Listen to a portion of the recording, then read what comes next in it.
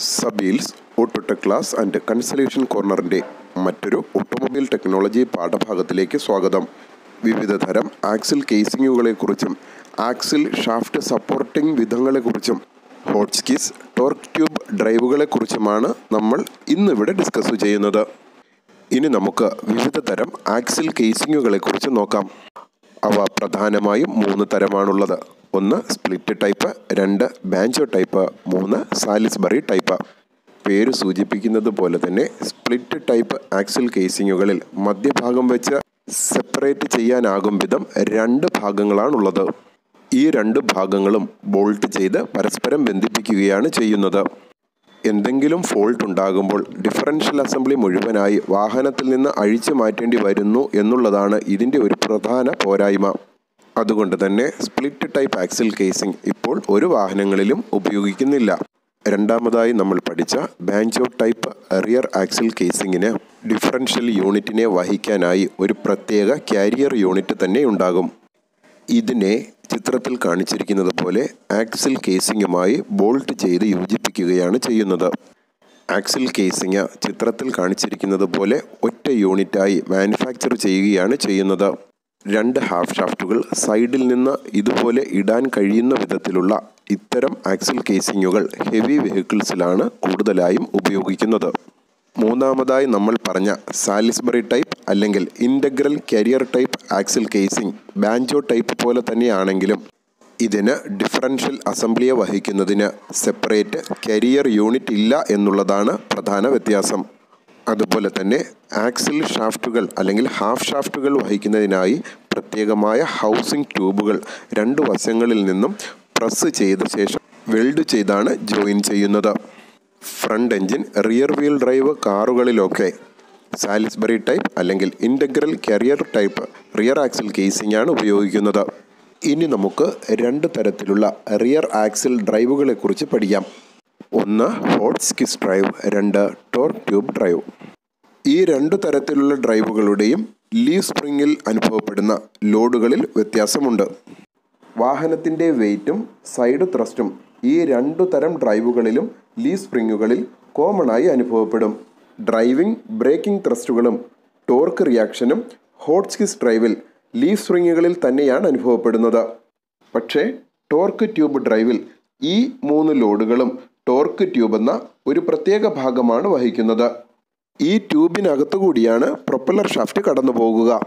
Torque ട്യൂബിന്റെ ഒരഗ്രം axle കേസിംഗുമായി ഫിക്സ് ചെയ്തിരിക്കും. ഗോളാകൃതിയിൽ രൂപപ്പെടുത്തിയിരിക്കുന്ന മറ്റേ അഗ്രം ഫ്രെയിമിൽ ബന്ധിപ്പിച്ചിരിക്കുന്ന ഒരു കപ്പിൽ പരസ്പരം ചലിക്കാൻ പറ്റുന്ന വിധത്തിൽ അതായത് ഒരു ഫ്ലെക്സിബിൾ ജോയിന്റ് ആക്കി ബന്ധിപ്പിച്ചിരിക്കും. ലീവ് സ്പ്രിങ്ങിന്റെ സസ്പെൻഷൻ ചലനങ്ങൾ ഈ ബോൾ ജോയിന്റ് അക്കോമഡേറ്റ് ചെയ്തുകൊള്ളും.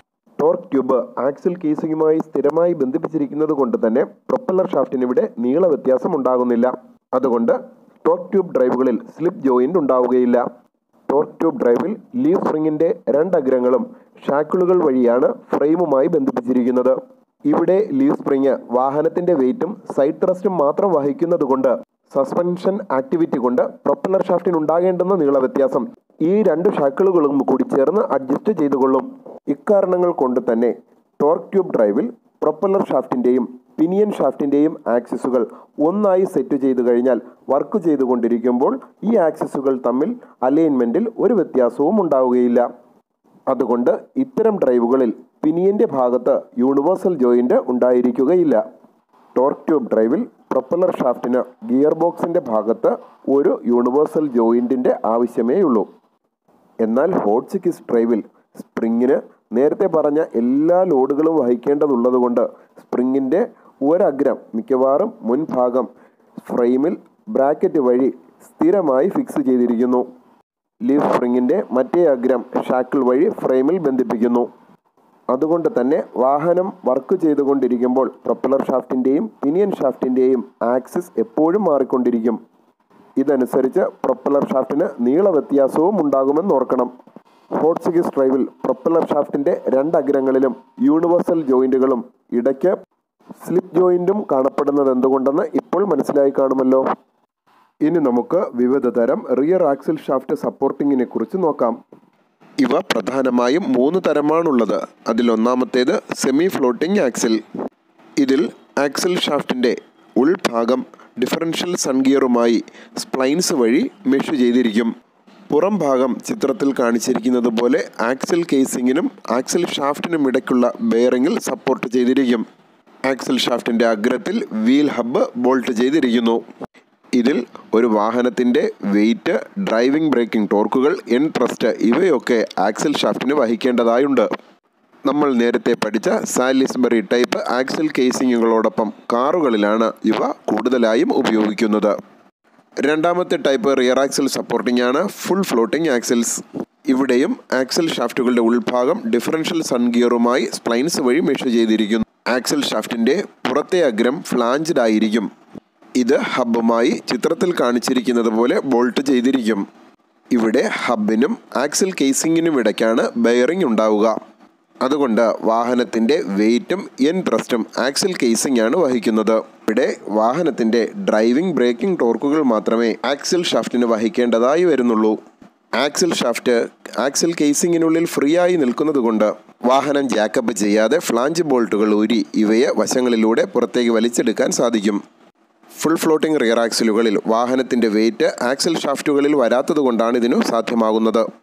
നമ്മൾ നേരത്തെ പഠിച്ച ബാഞ്ചോ ടൈപ്പ് ആക്സിൽ കേസിങ്ങിനോടൊപ്പം ഹെവി വെഹിക്കിൾസിലാണ് ഇവ ഉപയോഗിക്കുന്നത്. മൂന്നാമതൊരു തരം റിയർ ആക്സിൽ ടൈപ്പ് സപ്പോർട്ടിംഗ് ആണ്. Three quarter floating axles semi floating ആക്സിലിന്റെയും full floating ആക്സിലിന്റെയും ഒരു സങ്കര രൂപമാണിത്. സെമി ഫ്ലോട്ടിംഗ് ടൈപ്പ് പോലെ തന്നെയാണ് ഇതിന്റെ കൺസ്ട്രക്ഷൻ എങ്കിലും ബെയറിംഗ് വരുന്നത് ആക്സിൽ കേസിങ്ങിനും വീൽ ഹബിനും ഇടയിലാണ്.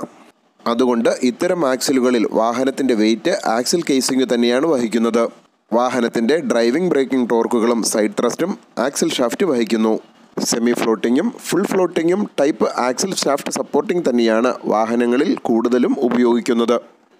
ഹായ് ഡിയർ ഫ്രണ്ട്സ് ടെക്നിക്കൽ തൊഴിലവസരങ്ങളുമായും ഓട്ടോമൊബൈൽ ടെക്നോളജി ക്ലാസ്സുമായും കരിയർ ഗൈഡൻസുമായും ഒക്കെ നമുക്ക് വീണ്ടും കാണാം.